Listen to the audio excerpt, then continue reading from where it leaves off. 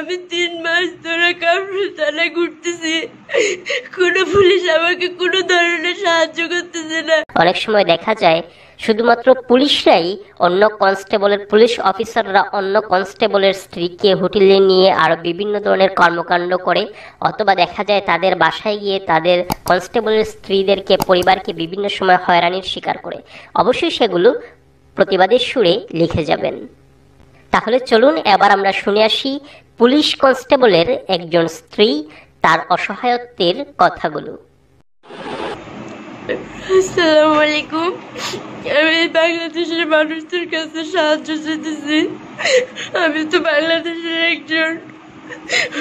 তো আমি তো সবার মতো না। আমি তো অনাথ আমার কেউ নাই। আমার বিয়ে হয়েছে, আমি একজন পুলিশ সদস্যের ওয়াইফ আমার হাজবেন্ড মিরপুর চোদ্দ নম্বর পুলিশ বাড়িতে চাকরি করে। ও কনস্টেবল ও পশ্চিম বিভাগ স্টেপ কোম্পানি ওর ব্যাচ নাম্বার একত্রিশ, পাঁচ অষ্টআশি। মোহাম্মদ সোহেল আমার হাজব্যান্ড আমাদের দু হাজার উনিশ সালে বিয়ে হয়।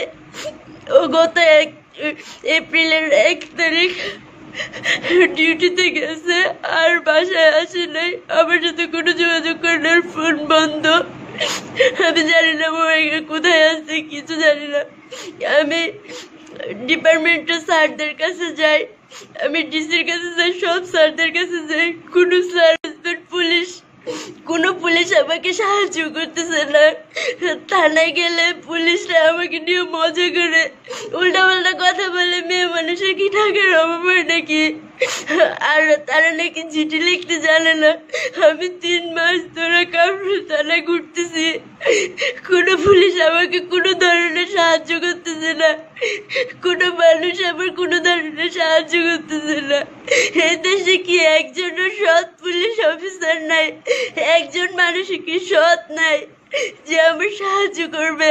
আমার হাজবেন্ড আইনের লোক দেখে সে মন চাইছে ওকে বিয়ে করছে।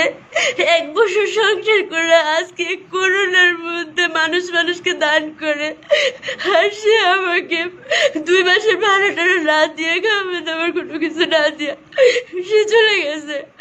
আমি কারোর কাছে কোনো ধরনের সাহায্য পাইতেছি না। আমাকে ধরে আমাকে মাঝে মাঝে কথা বলতেছে। আমাকে দয়া করে সাহায্য করেন। এদেশে কি একজনও সৎ মানুষ নাই যে আমার পাশে দাঁড়াবে? আমার আমার এখন থাকার জায়গা নাই। কোনো আমার বলার মতো বলার মতো কোনো জায়গা নাই। আমাকে দয়া করে সাহায্য করেন।